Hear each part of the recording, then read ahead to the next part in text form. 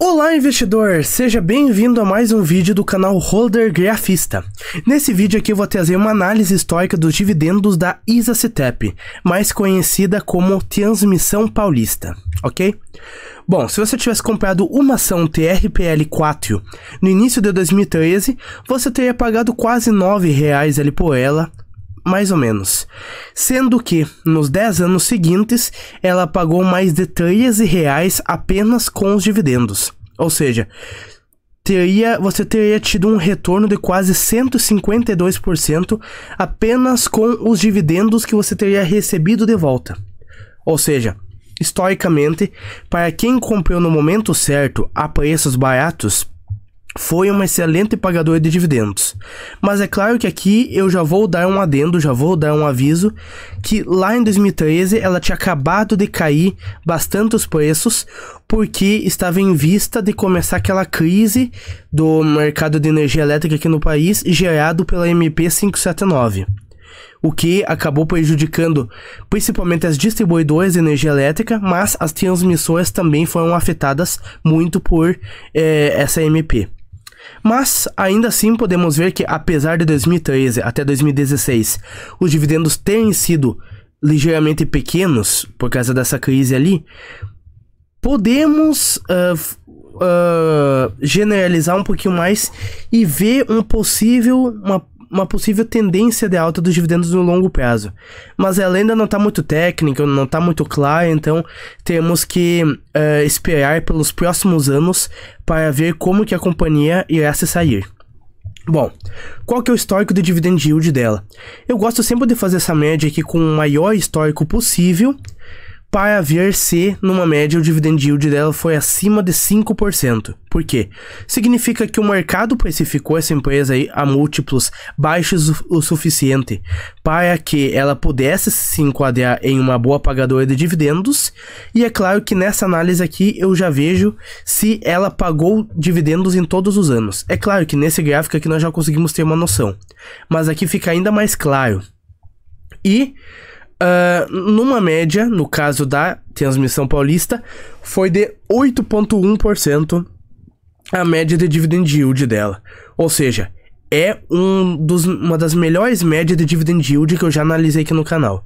Então podemos chegar à conclusão de que, de fato, historicamente é uma empresa que não deixou seus investidores na mão uh, e sempre pagou um dividend yield razoavelmente alto. Será que os dividendos dela são sustentáveis? Eu geralmente pego esse gráfico aqui de, de dentro do site do Status Invest. Eles tinham esse histórico aqui, a partir de 2018.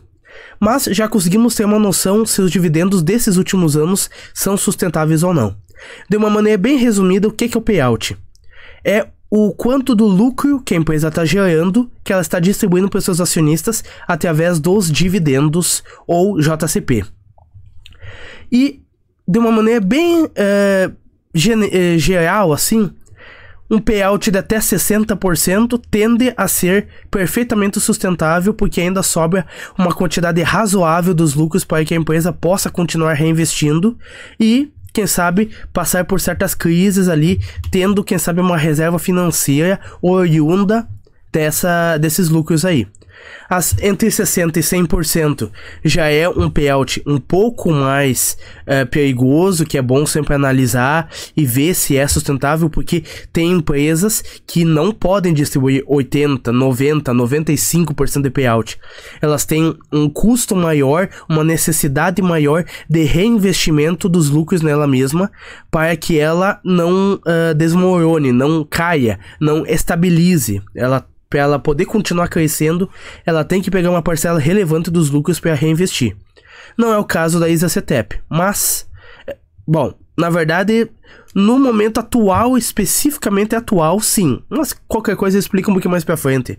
Uh, mas historicamente a ISACETEP não precisou de um reinvestimento tão grande assim dos dividendos para que ela uh, pudesse continuar crescendo ok?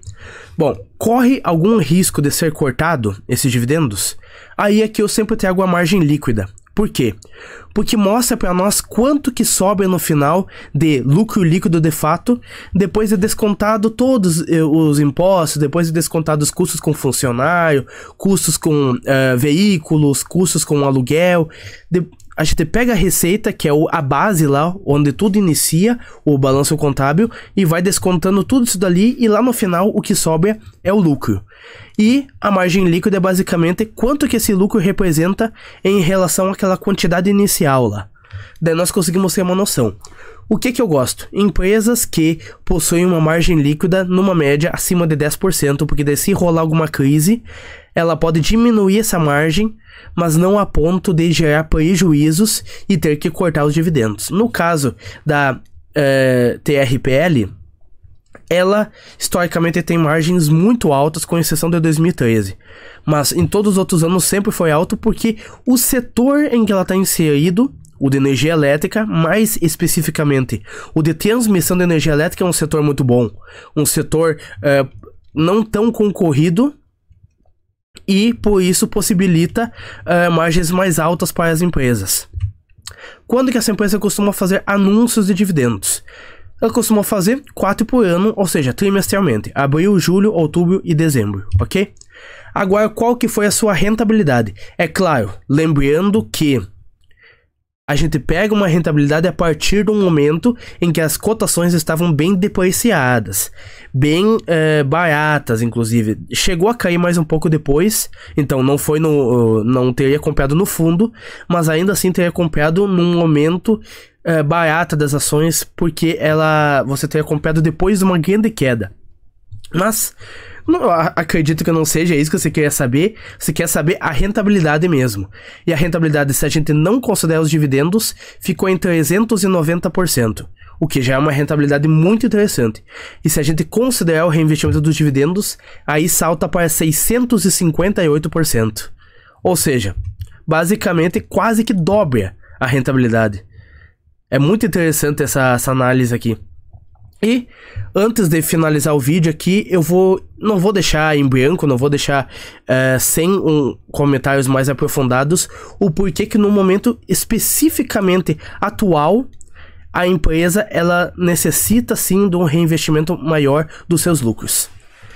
Bom, o que que acontece? Uh, a empresa está vai receber a partir do segundo semestre desse ano de 2023 o, uh, o, o uma receita adicional por causa da RBSE. O que, que é? De uma maneira bem resumida, é um dinheiro que ela ganhou na justiça como uma forma de compensar os, a crise que o próprio governo fez essa empresa passar lá na época do governo Dilma, ali que eu falei, de 2013 a 2015, 2016, na verdade acabou perdoando até um pouquinho mais tarde depois. É uma forma de compensar as perdas que ela teve lá. O que que acontece? Ela estava uh, recebendo uma quantidade bem boa e o governo foi lá e decidiu mudar o, a, o modo que ia pagar esse, essa receita adicional para ela. E daí, durante um período, essa receita que ela recebeu ficou em quase zero. E agora, a partir do segundo semestre, ela vai começar a receber e essa receita vai durar até 2028. Essa receita adicional que ela vai re receber do RBSE. Então, por que, que ela precisa investir uma parcela maior dos lucros? Porque depois de 2028 vai ter uma grande queda nos seus resultados, porque essa RBSE vai sair completamente dos benefícios que ela tem, entendeu? Com o governo. Então o que que acontece? Ela precisa investir muito pesado agora para que quando essa queda aconteça, ela não seja tão relevante assim, não prejudique tanto assim a empresa. Mas daí, isso é cenário lá para 2028, 2029. Ainda falta um tempinho. Mas esse é o principal motivo pelo qual ela precisa investir muito agora. Mas é uma situação tanto quanto atípica. Historicamente, empresas e transmissoras não precisam uh, ter uma reinvestir uma parcela tão grande dos seus lucros. Bom, se você ficou até aqui, deve ter gostado do vídeo, né? Espero que ele tenha te ajudado. E se, se sim, eu peço que você deixe o like e se inscreva aqui no canal, que eu tenho alguns vídeos novos todo dia. Eu até tenho que corrigir isso aqui, não é toda semana. Eu tô mantendo uma frequência de trazer vídeo todo dia. Inclusive, hoje mesmo, mais tarde, uh, pelas 7 horas da noite, eu vou lançar mais um vídeo com os preços teto da TRPL também. Então, esteja aqui no canal às 7 horas da noite, se você quiser ver melhor e ter, é, ter uma noção melhor se com base nos dividendos que essa empresa paga, ela tá barata ou não para se comprar, ok? Muito obrigado por ter assistido até aqui, até o próximo vídeo, valeu!